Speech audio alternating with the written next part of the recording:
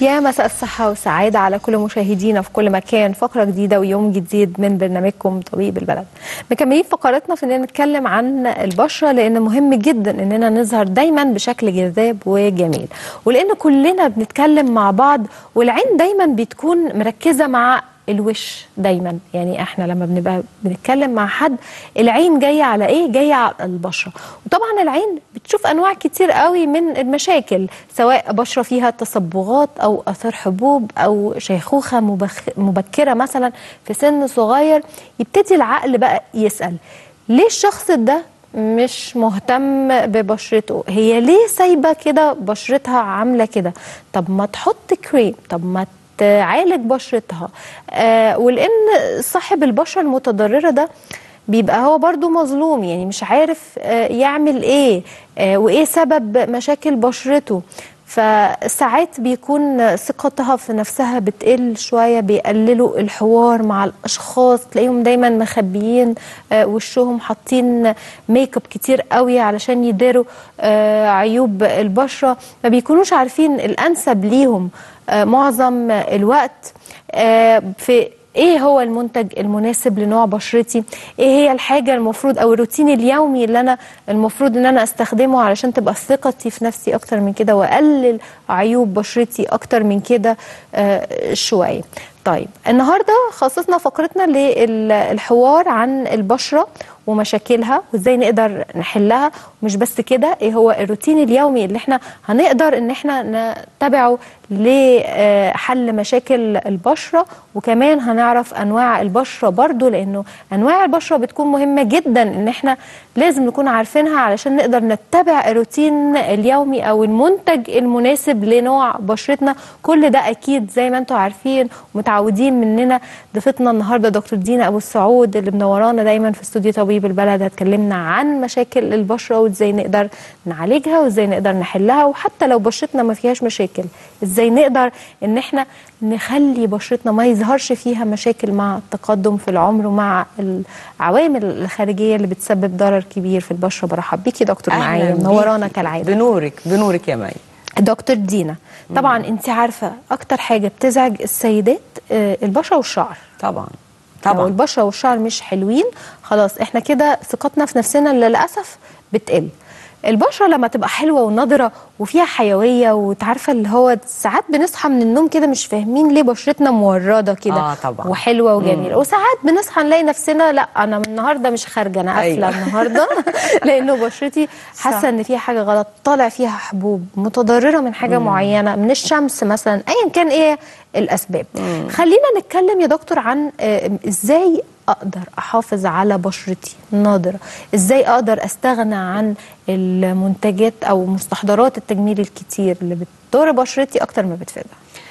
آه طبعا يا مي زي ما انت قلتي ده مهم قوي إن أنا أفضل محافظة على نضاره بشرتي. عايزة أصحى من النوم كل يوم ألاقي وشي مورد. م.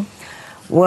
وستات كتير طبعا آه لو عندها مشكلة من مشاكل علامات التقدم في السن سواء هالات سوداء سواء آه تجاعيد fine uh, lines uh, عدم نضارة. بتلاقيها بتخش في mood depression أو mood مكتئبة uh, مكسلة أنزل ما بتبقاش ست منتجة في المجتمع. وبنتهرب من أي خروج أيوه أيوه ده فعلا.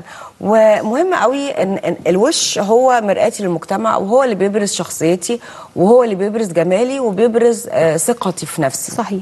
كلنا هنمر يعني بأعمار مختلفة. طبعا العمر الصغير بيبقى الوش مليان الكولاجين ومليان vitamins وكل ما بتكبري الحاجات دي بتنقص. طب أنا عايزة أكبر في السن وأحارب قصة نقص في الكولاجين نقص في ال minerals نقص في ال amino acids اللي هي الأحماض الأمينية والمعادن والفيتامينات إزاي؟ آه الحقيقة في كريم نزل في في السوق التجميلي في مصر كسر الدنيا مم. اسمه كريم بينكي. من أهم الكريمات اللي موجودة حاليا وأنا ما بستخدمش غيره. كريم بينكي آه، آه، آه، بيدي أي ست ثقة في نفسها بيخليها بعد فترة لو هي زي ما انت بتقولي بتحط ال make up عشان تداري هالات سودا تداري fine lines عند العين توحد لون بشرتها. لا انت بتستخدمي كريم بيعالج المشكلة دي فمش هتحتاجي بعد فترة انك انت تحطي ال full make up بشوف بنات كتير في الجامعة حاطة full make up أنا جامعة يعني ألم شعري وأروح المحاضرة بتاعتي. لكن بنات كتير عندها مشاكل في السن ده فبتضطر تحط make up. Okay. بتلاقي بنات على البحر أكيد يا مي زيي بتلاقيه يعني حاطة ال full make up برضه. بتداري. ال make up مع الشمس الكتير مش حلو. أصلا ال make up الكتير وتغيير البراندات في ال make up بيأثر جدا على البشرة. آه في ستات بتحب تحط ال make up آه آه ك يعني بيحبوا هاويين للمكياج يعني. آه بس فب- مش لازم نبقى مجبرين. بالظبط.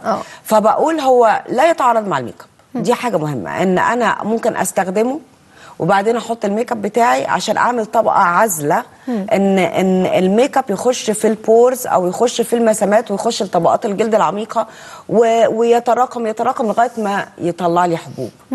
ف فلا يتعارض خالص أقدر استخدمه. فانا بقول بك- بكريم بينكي هنقدر طبعا هو كريم. أنا بقول من أهم الكريمات اللي موجودة دلوقتي في مصر لأنه كريم تغذية وترطيب وتفتيح. حلو. وعلاج علامات التقدم في السن.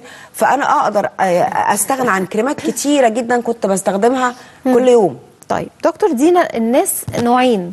يعني لما بيجوا يشتروا منتج أو عايزين حاجة نستخدموها على بشرتهم في ناس تخش والنبي يقول لي إيه اللي حلو؟ ده حلو؟ آه طب تمام هاته. آه. وفي ناس تانية تقول لك إيه؟ لا تطلع النضارة بقى من الشنطة وتبص تبص كده بقى إيه تشوف لك. ال ingredients إيه مكوناته إيه آه ده في كذا ده في كذا ده في كذا ده في كذا وبعد ما تخلص تقوم سأله الدكتور ده بيعمل إيه طب هو فيه فيتامين إيه طب وكذا وتسأل كتير وتحب تس... أنا من النوع ده بقى طبعاً.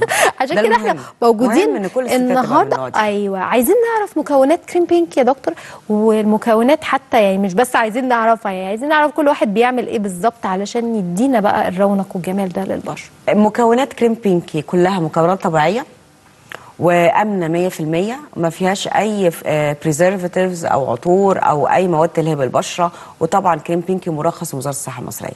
من أهم آه، المكونات اللي موجودة داخل كريم بينكي ببتدي بمستخلص التوت البري كله مضادات أكسدة لأن أنا مع التقدم في السن وعوامل ال- البيئية السلبية والعوامل اللي إحنا بنعملها بتأكسد البشرة.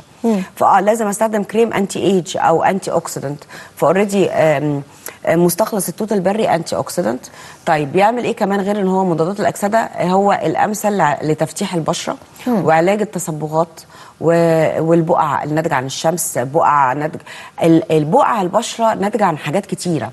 شمس أكسدة تدخين آه، سكريات بتتكل على عمال على بطال. أحيانا لما يبقى نسبة الحديد في الدم آه، آه، أزيد عن اللازم بتبقع فأنت عندك حاجات كتير بتبقع البشرة. طب أنا عايزة آه، ألاقي بشرتي لونها موحد باستخدام كريم بينكي لأن هو already فيه مادة التوت البري. وهذه المادة كمان بتقدر تشتغل على الميلانين فبتعمل لي unify skin التوت البري غني جدا جدا جدا بفيتامين سي. وكذا مرة وكل مرة أبقى معاك يا مي أتكلم عن أهمية فيتامين سي. فيتامين سي هو اللي بينشط لي الدورة الدموية من جديد. Okay. هو اللي بيديني النضارة الحلوة قوي. طيب التوت البري بيعمل إيه كمان؟ من أهم المواد اللي تقدر تحفز لي على إنتاج الكولاجين الطبيعي. أنا على طول بقول مهم إن أنا أستخدم كريم يحفز لي على إنتاج الكولاجين بتاع ربنا الطبيعي من طبقات الجلد السفلية. Okay. فالتوت البري بيعمل ده. آه عندي طبعا مستخلص آه عرق السوس آه ده منبع التفتيح بيقدر يفتح ويعالج التصبغات. عندي زبدة الشيا وزبدة الكاكاو مهمين جدا هذه المادتين ومن أهم المواد الطبيعية داخل كريم بينكي لأن المادتين دول آه بيعملوا لي ترطيب. مهم قوي إن أنا طول الوقت وطول حياتي أستخدم كريم بيعمل لي ترطيب. فايه المواد اللي تقدر تعمل ترطيب؟ أنا عندي زبده الشيا وزبده الكاكاو. عندي طبعا مادة الشاي الأخضر. المادة ال- اللي كلها مضادات أكسدة. و...